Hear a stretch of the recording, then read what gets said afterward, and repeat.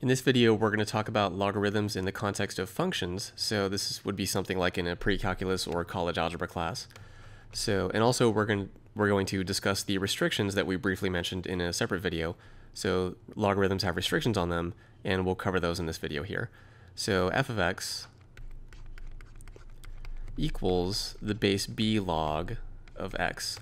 So if we think of logarithms in the context of functions, then we have something like this. And the restriction then is b, the base b has to be positive.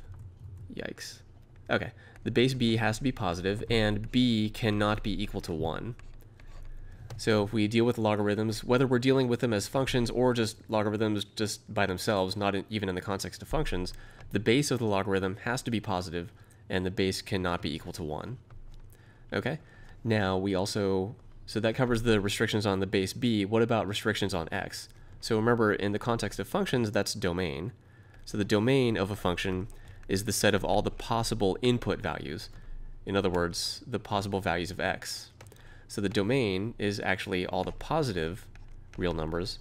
So in interval notation, uh, covered in a separate video, interval notation would be this, 0 to infinity, which is just a fancy way of saying x has to be strictly greater than 0. Okay, strictly greater, not greater than or equal to. So x is not allowed to be 0, x is not allowed to be negative. x can be any positive real number, and that's okay to put in here. So the domain is all positive real numbers. How about the range? Remember that uh, the range of a function is the set of all the possible output values. So the range is actually all real numbers. So all real numbers. Okay, so here just to recap real quick, b greater than 0, b not equal to 1, that gives us restrictions on the base, what the base can be. The domain gives us restrictions on what x can be.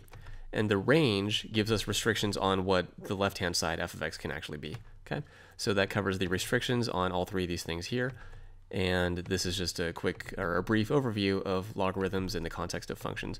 But again, I do want to point out that these restrictions don't just apply to the context of functions. These restrictions apply to logarithms in general, no matter what context you're talking about.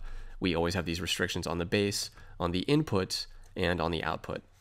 Okay, so that's that. And in a separate video, we're going to see how to actually evaluate logarithms.